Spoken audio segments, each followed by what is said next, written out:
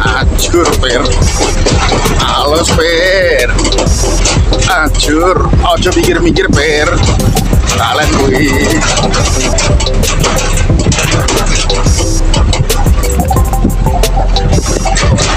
Halus per.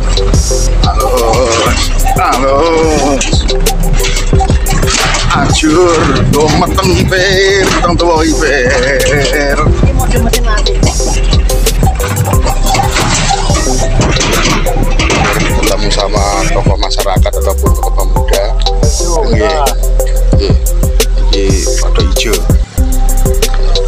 Sinten Sinten Suwarno pribumi sini nggih Mas ya Eh, ini mas penggunaan dari air sumber ketika kemarau satu sisi lain untuk kebutuhan rumah tangga juga katanya Mas Suwarno ayo Mas monggo diceritakan fungsinya apa saja Mas kegunaannya apa saja kira-kira ya mas ya. Gak apa-apa, gak apa-apa, gak apa-apa. Wes pokoknya bahasa gado-gado. Cara kemarin Selain pokoknya banyak banyak kegunaan gitu ya. penyakit Tek mantep pokoknya pak. Yang paling jauh mana mas orang yang ngambil? Tadi Purwodadi, sering. Sering apa? Kadang setahun sekali. paling ya pas perjalanan ke Jepara paling lewat gitu. Kalian mampir buat di rumah yang nggak tahu. Ya Lur, ini dari Mas Warno. Katanya saat ini yang paling jauh yaitu dari kota Purwodadi, tepatnya di Grobogan. Kalau Purwodadi itu kecamatannya. Tapi yang terkenal memang kecamatannya daripada kabupatennya, kabupatennya itu Grobogan. Ini bersama masyarakat, warga yang menggunakan debit air kurang bisa mandi ataupun uh, cuci di sungai.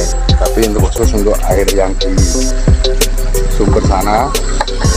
Terus tempat orang ambil air itu fungsinya multiguna itu fungsinya tergantung kebutuhan. Mau dipakai untuk kebutuhan keluarga ataupun kebutuhan sifatnya penyakit non medis Oh gak di anu mas di apa dimanfaatkan sisi kata ditata sing lebih layak lagi. Pernah gak pernah diajukan dengan APBD desa gitu sing langsung ditata pokoknya natural gitu ya natural beda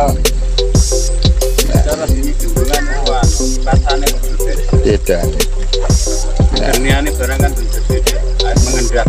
Oh, ini kan air mengalir kan. oh iya, iya. Masih berapa bersama warga pemuda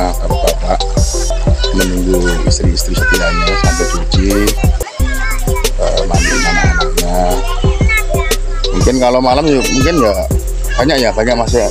Malam. Sampai jam kalau malam jam pagi satu malam penuh pak. gitu ya malamnya Nah, oh, makin lah makin banyak orang. Kalau Jumat hmm, 12 malam masih lebih lebih tepatnya eh, mandi ritual gitu ya tapi ya. Ah, gini ya ya